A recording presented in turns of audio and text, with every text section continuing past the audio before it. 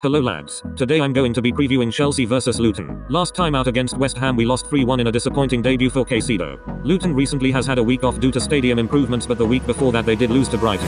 Mudryk and Lavia will both miss the game sadly. Mudryk due to injury and we are unsure of why Lavia can't play. On to my lineup prediction.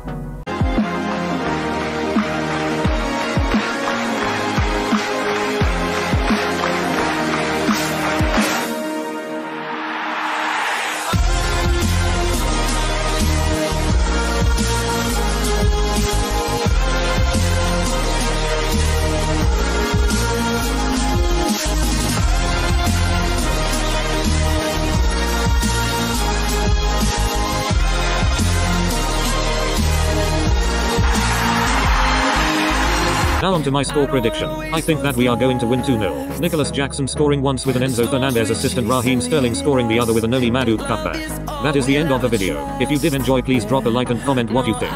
Enjoy the game lads and come on you blues.